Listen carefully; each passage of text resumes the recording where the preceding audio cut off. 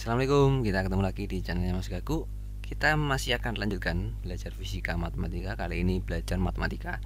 Lanjutan dari peminatan kelas 11 tentang trigonometri. Kita sudah bahas di dua video sebelumnya Tentang rumus jumlah dan selisih Dari trigonometri. Nah sekarang kita eh, akan di contoh soal nomor 9 dan nomor 12 Bagaimana membuktikan rumus identitas ini dengan rumus jumlah dan selisih trigonometri. Yang soal-soal berikutnya sebelumnya sudah ada di video sebelumnya juga. Oke ya silahkan disimak di channel Mas Gaku playlistnya SMA matematika matematika SMA kelas 11 gitu. Cari aja di situ nanti ketemu.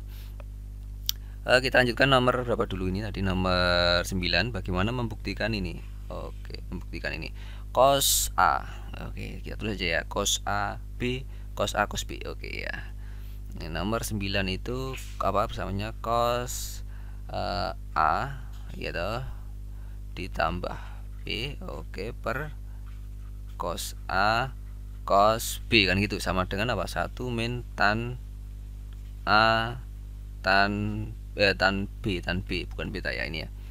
Ini kan bersamanya cos A cos cos A plus B.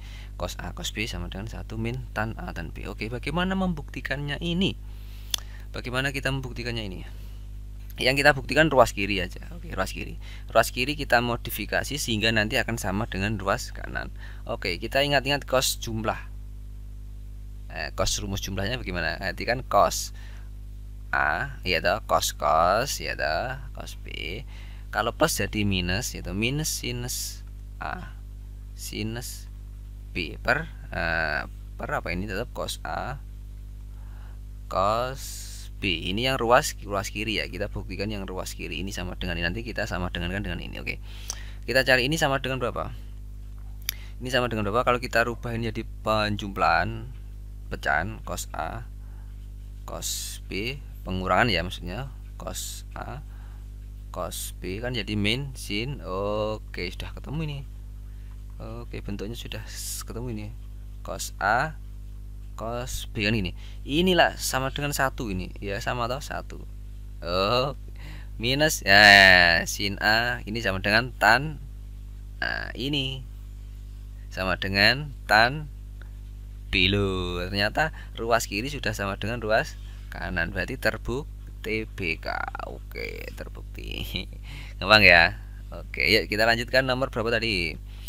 Eh yang ini aja. Ya ini toh identitas ini tan berapa ini? Pi per 2 ditambah x sama dengan min kotan x. Kita tulis ya nomor 12 tadi ada tan. Berapa tadi? Pi per 2 ditambah x sama dengan negatif kotan kotangan dari x. Bener ya? Ini ya tan pi per 2 plus x sama dengan negatif kotan dari x ya kita masukkan. Nah kita bisa ini ada tan jumlah tuh kalau kita ambil tan jumlah alfa dan beta gitu alfa dan beta alfa dan beta.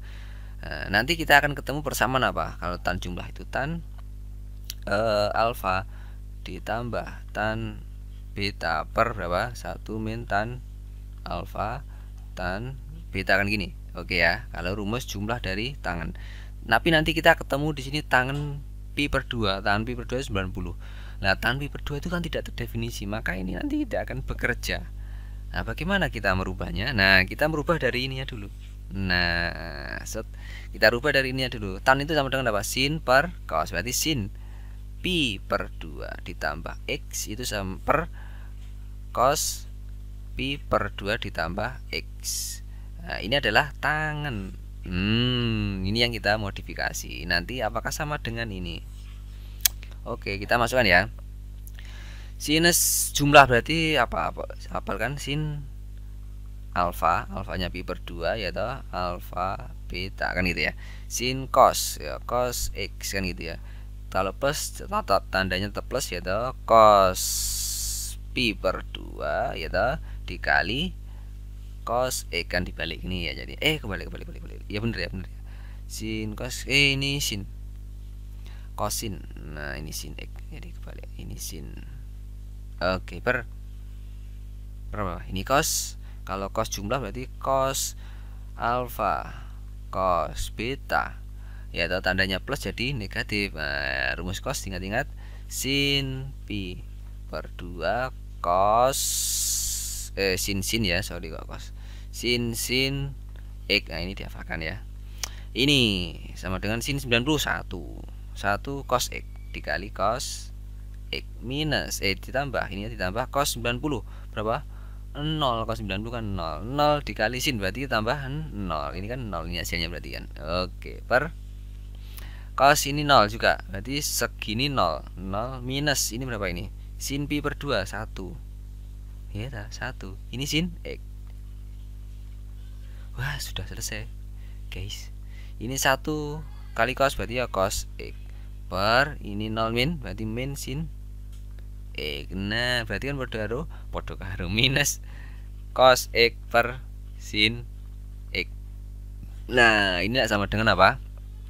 Oh tangan dari X terbukti TBK karena ini sama dengan ini tadi begitu cara pembuktiannya. Sudah selesai kita lanjutkan ke video berikutnya bahas lagi tentang apa nanti tentang apa ini ya. Ah sudah terangkap ikuti terus di channel ini selamat belajar dan bisa di sharing ke teman-temannya biar tambah bermanfaat. Wassalamualaikum warahmatullahi wabarakatuh